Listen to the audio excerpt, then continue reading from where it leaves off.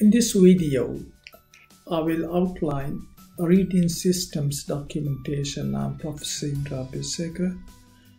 An activity is an action performed either by an internal or an external entity. Examples could be on data or on operations. On data, sending data, transforming data, filing them, storing them, retrieving data from storage, or receiving data examples. On the operation side, picking goods in a warehouse, inspecting goods at receiving dock, or counting cash are examples. For each activity, there must be an underlying entity that performs the activity. As we circle each activity, we put a box around the entity that performs the activity. Data flow diagram graphically represents a data flow due to activities undertaken in a system.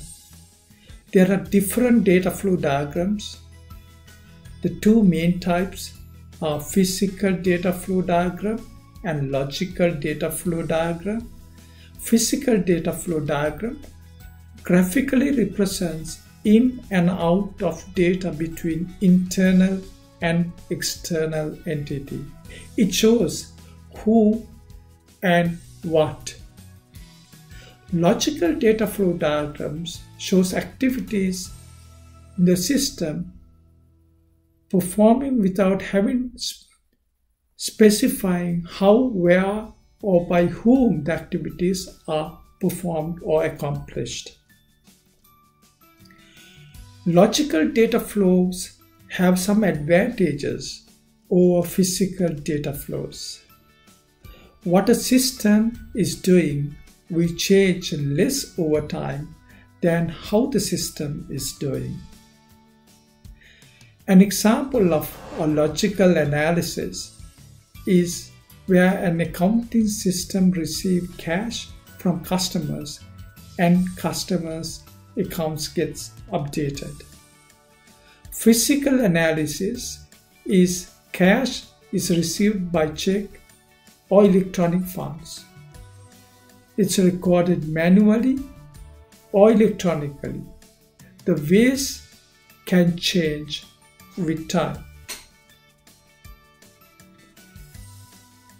In system analysis and design diagrams presented by Yourdon and Coad shows the process as a circle, but information systems diagrams presented by Gane and Sarson shows the process as a square with curved edges.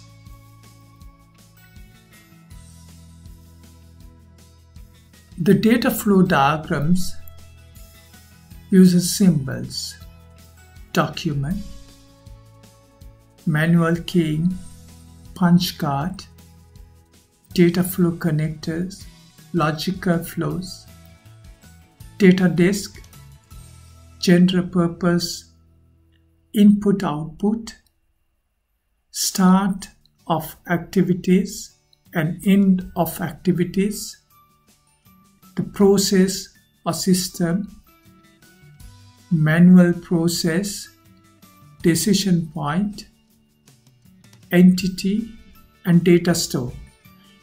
Each of these have different symbols and these symbols are used in data flow diagrams. There are different levels of details in data flow diagrams and the top level of the details or the most condensed level of detail is called the context diagram. In the context diagram, there are external entities and the entity in focus is the information system which is shown as a circle like a process. So what is shown is the interaction or the data flow between the entity and the external entities. It's the information system in focus and the external entities. In this example, there's entity and customer. There's selling goods to the customer and receiving cash. And then there is the entity information system and the supplier. And in that, there's buying goods and paying cash. The same context level diagram can be looked at as a logical flow and a physical flow. If it is a logical flow, our focus here is what is it? It's about activity description, just like we did it. It's the entity or the information system, then the customer and suppliers are the external entities. Activities are described as receiving cash, selling goods, paying cash, and buying goods. But when it comes to physical flow diagram, the focus is about who does what. So here, the customer and the entity, the receivables clerk receives cash and the salesperson sells the goods, the payable clerk pays cash to the supplier and the, the storekeeper receives the good from the supplier. So the levels of de details differ depending on the flowchart diagram. The context diagram is the highest level diagram. There's only one process or activity, or it's the entire information system. And in our example, there were two external entities. The next level of detail is called the level zero diagram.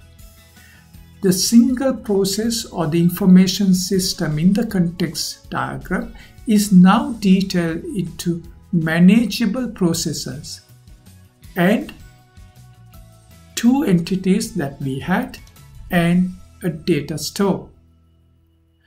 In level 1 diagram, which is the next level of detail, we take each process that we identified in the level 0 diagram and each process is now detailed out into uh, more detailed or more manageable processes from the level 0 level uh, process. So we can do that for each process that we identified in level 0 diagram.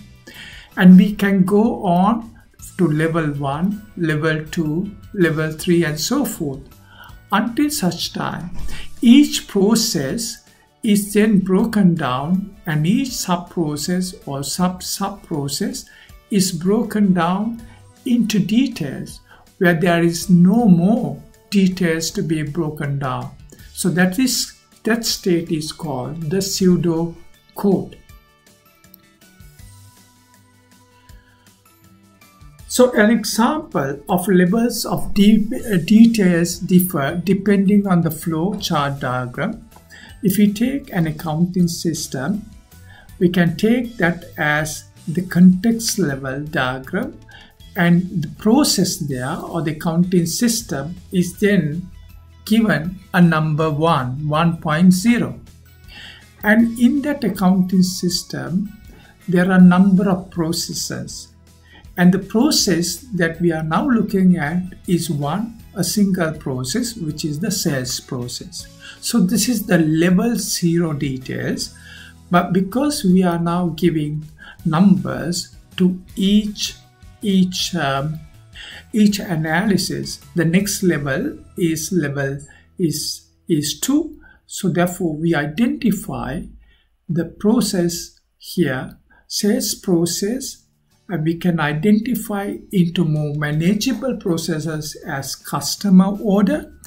We give 2.0.1 and supplier tracking number which is 2.0.2 and then if we go to the next level which is level 1 diagram or the customer we can look at one of the processes that we identified under sales in the level 0 diagram. Here we are taking customer order. Customer order can be now looked at in more details in more manageable processes as checking with the supplier uh, check with the supplier tracking number for delivery.